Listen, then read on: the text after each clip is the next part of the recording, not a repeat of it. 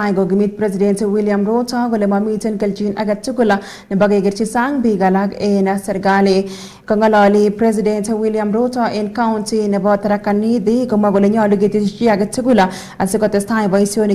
tai ak keistoege yautik chekipchee biikab emet kotinygei ak ng'alek chebo bolotet. Kaitit ak kebeberaton en rutoito nebo lumdaet nebo tetutik cheterter chebo bandab tai cheboto nebo beek, ortinwek ak kora keyat sukulit nebo konyoiset nebo Marimanti KMTC afisit County Commissioner nebo Tharaka Nithi en kwen nebo kokimit kibagenge ak kotii kandoik chekikilewen. Jana nimeunda serikali ya kuunganisha Wakenya wote, kwa sababu sasa nimesema hakuna haja ya kubaguana tena. Si tunataka kulipa ushuru pamoja? Si tunataka kulipa madeni pamoja?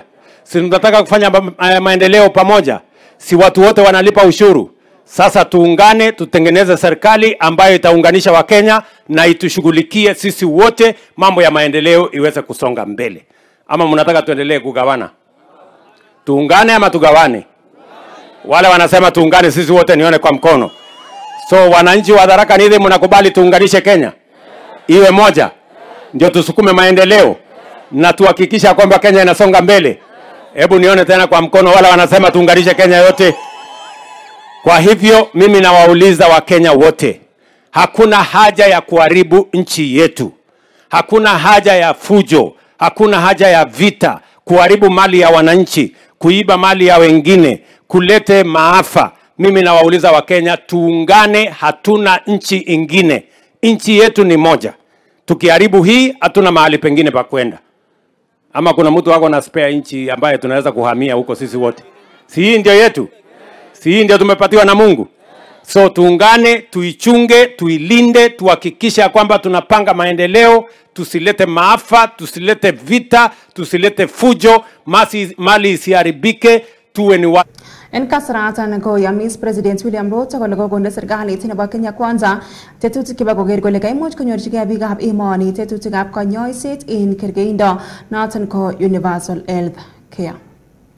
we want to make health not available just to those who can afford. We want to make health universally available to every citizen of the Republic of Kenya. And that is why we have changed the law. That's why we are implementing a broader, bigger plan on matters health. The universal health program that we have been discussing for many years, we have decided that we are implementing this time round. We have changed the law. We have now four pieces of legislation that is going to underpin our program of universal health.